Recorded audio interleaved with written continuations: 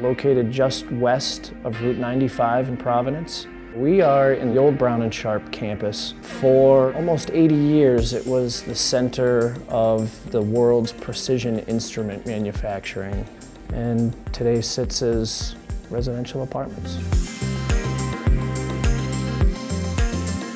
The goal here was to preserve the architecture of the building while giving each tenant individual control of heating and cooling and allowing an installation that could be in turn charged back to the tenants.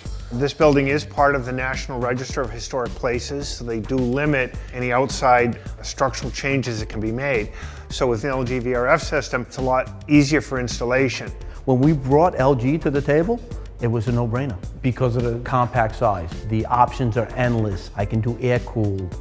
I have smaller footprint air handlers. I have wall mount units. We decided in, in this phase of the project we weren't going to run exposed ductwork in people's apartments. We wanted to keep everything hidden. That was able to free up a lot of the floor space that we had lost to water source heat pumps in the past. When they first started doing the buildings and the retrofits, they used traditional water source heat pumps. Where you have the water source heat pumps, you do have a large mechanical room uh, full of pumps and other machinery that are uh, not only large electric users, but you're also taking up some usable space. So what the designer of this project was able to do was convert that space into amenities for the residents. This is a large fitness center that's available to the residents. In addition, a really great, about a 20 seat theater that's available for the residents' use. And on the roof, we were able to build a fairly large roof deck for resident enjoyment and views of the city instead of having cooling towers. What we did in this design was we used the units placed up on the roof and we come down and we feed sections of floor and then they run smaller refrigerant pipes down the hallway and through the living spaces. One of the reasons we picked the LG VRF system is really for the efficiency and improved tenant comfort. We have exposed brick walls in all of our apartments. Those brick walls get cold quick.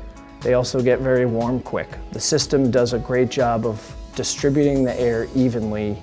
I refer to it oftentimes as a set it and forget it system.